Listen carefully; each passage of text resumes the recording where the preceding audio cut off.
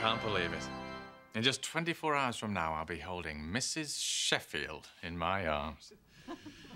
You as happy as I am? This is the happiest day of my life. Congratulations, sir. Thank you, Niles. Hey, what about me? I'm the woman who's making you the happiest man in the world. Miss Fine. Congratulations. so, uh, what's the suitcase for? Oh, wait a minute, I know.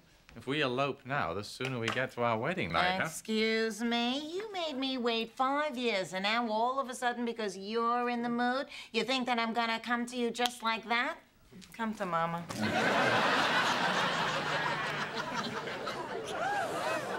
So what, you're so excited you're packed for the honeymoon already? Oh, sweetie. I'm a Jewish woman going on a two-month cruise. Do you really think this is all the clothes I'm going to need? Yes. Oh. Oh, honey.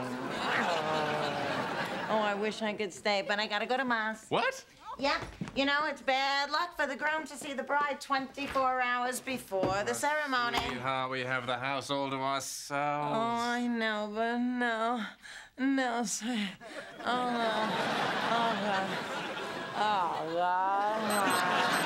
Oh, there's the 24 hours. What? Yep, that was a warning. We only have two minutes left. Oh, I can do it in two minutes. Well, darling, it has been five years. Oh. Let's go.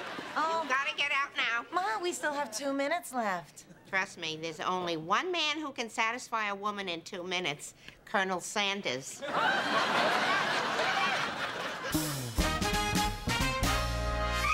was working in a bridal shop in Flushing, Queens, till her boyfriend kicked her out in one of those crushing scenes. What was she to do? Where was she to go? She was out on her fanny.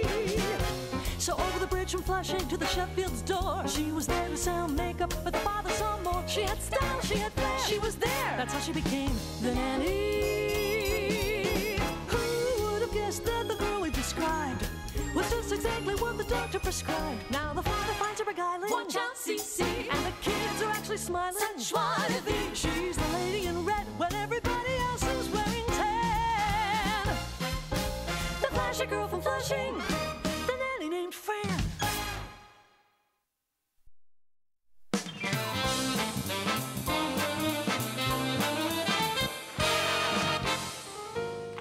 So, Dad, last day as a free man.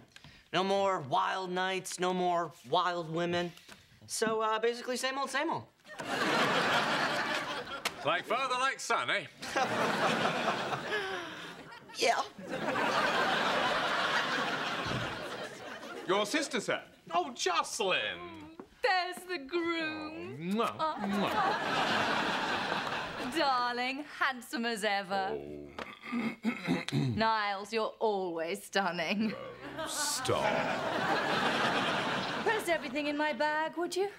I said stop. Oh, where is she? Where's, uh, where's mother? Oh, she declined the invitation. Seems she despises your fiancé. What? That's ridiculous. I talked to her the other day. She said she adores Fran. Abhors, darling. I know it's horrid, but you know Mummy. She doesn't think anyone has the class of a Sheffield. Yeah, so? Pick a little talk, cheep, cheep, cheep, talk a lot, pick a little more, pick a little talk, a little, pick a little talk, a little, cheep, cheep, cheep, talk a lot, pick a little more, pick a little talk, a little, pick a little talk, cheep, cheep, cheep, talk a lot, pick a little more. In the short pick a little year that I've been here, I have added a certain element of style and panache to this house. Hmm. When did I eat corn? She loved my late wife, Sarah. Oh, absolutely. She thought she was a real stitch. Yeah, right.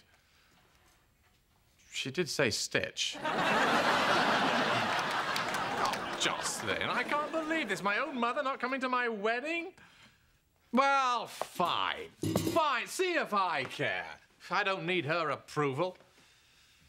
All right, maybe, maybe Fran was a little rough around the edges at the beginning, but after five years of being exposed to the